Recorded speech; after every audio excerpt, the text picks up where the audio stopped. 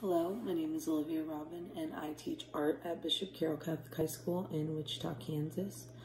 Um, I have, I would say, a good sense of using technology, um, just as much as probably the average person.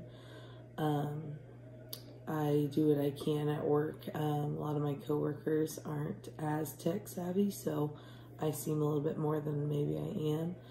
Um, I took some coding classes in college, so I've learned a little bit more than I guess I probably give myself credit for. Um, my weaknesses would definitely be just getting overwhelmed by it all.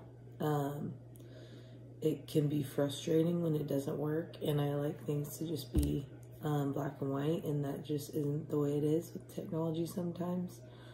Um, but I'm hoping to get out of this class is next semester I'm teaching a digital art class. So I want to be able to do more with that and be understand more for my students and to just learn more things about how I can integrate technology into my art class because it's difficult to do that. Um, but yeah, thank you.